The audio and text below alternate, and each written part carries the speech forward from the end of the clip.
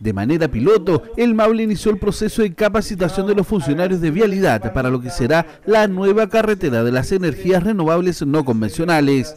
La idea de este proceso es que puedan estar actualizados en materia de infraestructura que utilizarán las empresas que se están instalando en la región y que serán parte del sistema de generación. Bueno, lo que buscamos es una asociación más fuerte con Vialidad, ¿cierto? Y el Ministerio de Energía, debido principalmente al tremendo aumento que hemos tenido durante este gobierno de las energías renovables no convencionales. Las energías renovables, ¿cierto?, han crecido desde el 4% hasta el 17%.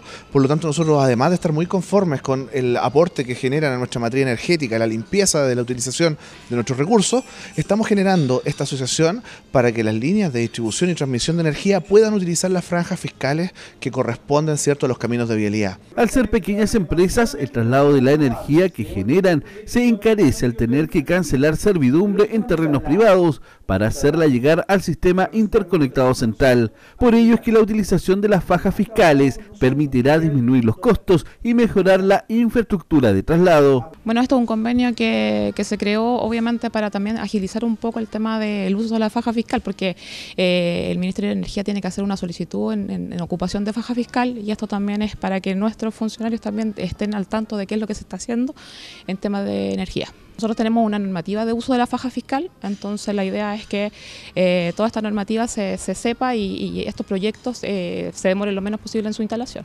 A partir de esta capacitación es que se da inicio al proceso piloto en el Maule. En la práctica tienen que pasar algunos procesos de revisión en lo que se informará de la infraestructura a utilizar para hacer el traslado de la energía.